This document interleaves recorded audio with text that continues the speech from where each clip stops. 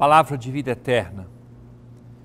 Do Evangelho de São Lucas, capítulo 14, versículos 1 a 6. Aconteceu que num dia de sábado, Jesus foi comer na casa de um dos chefes dos fariseus, e eles o observavam. Diante de Jesus havia um hidrópico. Tomando a palavra, Jesus falou aos mestres da lei e aos fariseus a lei permite curar em dia de sábado ou não? Mas eles ficaram em silêncio. Então Jesus tomou o homem pela mão, curou-o e despediu-o. Depois lhes disse: Se algum de vós tem um filho ou um boi que cai num poço, não o tira logo, mesmo em dia de sábado? E eles não foram capazes de responder a isso. Querido irmão, querida irmã,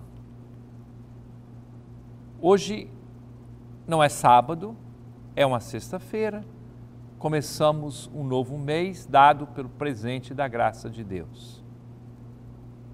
Mas o Evangelho nos fala do sábado, um dia sagrado para os judeus, carregado de significado, um dia que era a expressão da liberdade dos filhos de Deus.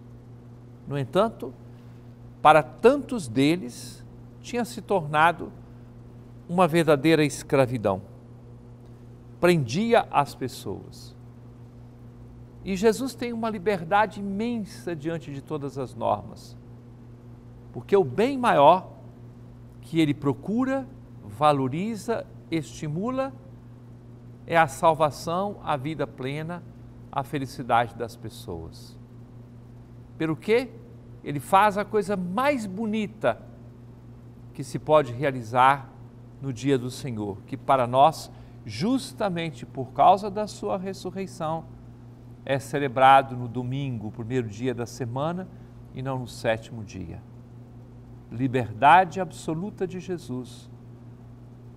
Convite a não desperdiçarmos qualquer oportunidade para fazer o bem é palavra de vida eterna. Thank you.